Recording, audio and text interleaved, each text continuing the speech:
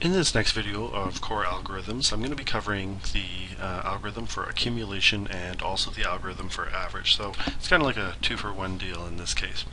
So what I mean by accumulation is that often we want the user to continuously enter values or we want to be able to continuously get values until we get a signal value that tells us to stop. And then usually we want to keep adding those or something like that. So in this example I'm going to show how to continuously add numbers until um, they get a signal value. So it's a, a, certain type of number that would tell the uh, computer to stop adding them. And then I can show the total of those values and also I'll show you how to get the average of all those values. Okay, so the way we start, and I'm going to just start simply here, is by creating a variable for input. Okay, and then we'll also need another variable for the total. Okay, um, or I can call it the sum. Okay, so the sum of the values, and the sum would start at zero. Okay, then what I would do is I would say C, uh, out, I'm going to put a prompt here, and prompt the user to enter a number. So please enter a number. And then typically it would have um, something like this, a negative number to stop. Okay, so in this case the signal value is going to be that a negative number. So once the computer sees a negative number, it's not going to add that and it's just going to it's just going to stop. Okay, so it just says something like that, and I like to put a little colon here. There we go. Okay, and so what I'm going to do is I'm going to take in the input from the user.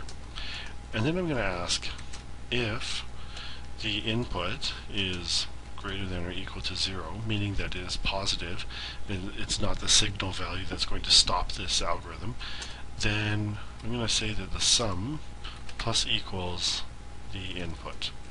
Okay, now what plus equals means is the same as saying sum equals sum plus input. So those two lines say the same thing. Okay, this is kind of a shortcut. It just means add the input to the sum. So if I enter a 5, the input would be 5, and then sum plus equals that would become, uh, sum would become 5. And then if I add 2, the input would be 2, and plus equals 2 would make it 7. Okay, so it just means to continuously add. Um, this, this actually works for all of the basic operations, so minus equals, times equals, divides equals, modulus equals, they're all the same, they all work like that. Okay, so this one, however, would only do this one time.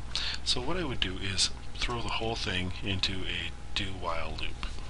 Okay, now uh, just one thing here, for beginning programmers, I find that it's useful to put these scope brackets like this. Okay, so these brackets are vertically aligned. However, this is not the programming convention. I know a lot of people are going to complain about it, but too bad.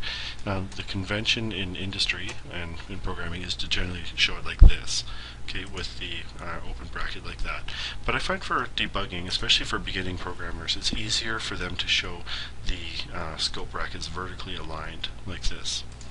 Okay, so what I'm going to do here is I'm going to say do while, so keep asking keep asking for input, take input, and then add the input as long as the input is greater than or equal to 0. And there we go. Okay, and at the end, what we would do is we'd say something like C out the total of all the val of all the inputs was sum. Okay, so something like this. Alright, and let's see if this works. Okay, so enter a number, and what I'm going to do is I'm going to uh, type in all the numbers from 1 to 10, which add to 55. Okay, and now I need to signal the computer that I'm done, so what I do is I say negative 1, Okay, and the total of all the inputs was 55. So, seems to have worked. Okay, that's for accumulation, so you can easily add things up. There's a couple things though. Um, one is that these, these values should be declared outside of the loop. Okay, the sum has to be declared outside of the loop because it's used after the loop.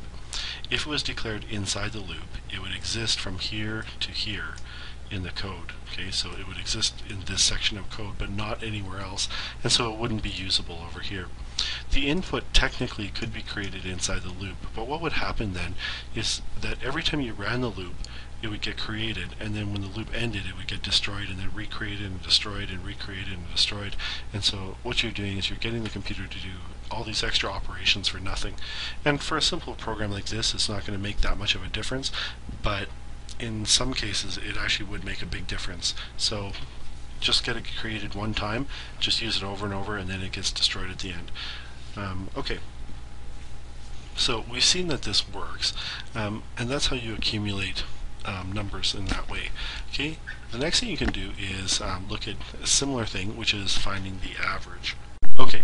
For the average, um, what we have is uh, a similar thing, but what we have to do is we have to track how many numbers were entered. Okay, and so I'm going to say numbers is equal to 0. Okay, so I'm making a new variable to keep track of how many numbers were actually entered. Okay, and so what I'm going to say is if the input was greater than or equal to 0, I'm going to add that number to the uh, sum, but I'm also going to say numbers plus plus. Okay, so what it does then is it actually keeps track of the number of numbers that have been entered. Okay, and then at the end, what I can do is say the average of all the inputs was, and I could say sum divided by numbers.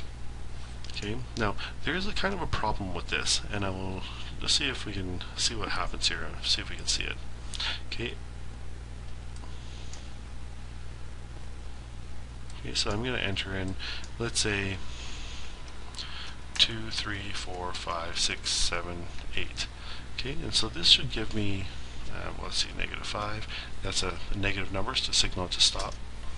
And it says the average of all the numbers is 5, which kind of makes sense because I have 5 as the middle number, and then between 4 and 6 the average is 5, and 7 and 3 the average is 5, and 8 and 2 the average is 5. So it appears to be working. Um, but, let's take a look. What happens if I run it again? and I use some different values. So let's say I go 2 and 3. Now if I just put those two values, the average should be 2.5. If I just give a negative number, it just says the average was 2. And this is common, a common thing that kind of perplexes students um, or new be, uh, beginning programmers because it doesn't seem to make sense why this should happen. And there's something actually inherent in the code that um, is responsible for this. Okay, when I have sum divided by numbers, what I have is an integer divided by another integer. And when you have an integer divided by another integer, the result is also an integer. Now the computer, what, will, what it will do is when it has an integer, uh, when it is trying to display a decimal number as an integer, it just drops the decimal. Okay, it doesn't round, it just drops it. So a 2.9 would become a 2, right? A 3.87 would become a 3. Okay, so what's happening here is that the computer is, uh, the integer is not able to hold the decimal, so it just gets plainly dropped, right? So the, the 0.5 in this specific in this specific example just gets taken away. So the solution to this problem is to do something called casting. And what that is, is getting the computer to treat an, a certain type of variable as though it were another type of variable, but only in one instance. And it's fairly simple to do. Um, in this case, what I want to do is I want to get the computer to treat the sum variable, which is an integer, as though it were a double. So what I do is I just, in parentheses, put the word double in front of it you can see that it becomes bolded and is a C++ keyword. Um, so in this case what it does, it treats the sum as though it were a double. It knows it's an integer, it just treats it that way just in this one case. And then what I have is a double divided by an integer, which yields a double. And we'll see how that works. Okay, so I have 2, 3, negative 1, and the average is 2.5. Okay, remember it does not uh, count the negative 1. Okay, and so that way we were able to count the average. Right, so you can see the accumulation is not much different fr uh, from the average. They just add a few extra things, um, and that's really it. So if you have any questions, uh, please give me a comment in the comment box or send me an email. If you do like the video, then please give me a thumbs up, and if you do like my channel, please consider subscribing.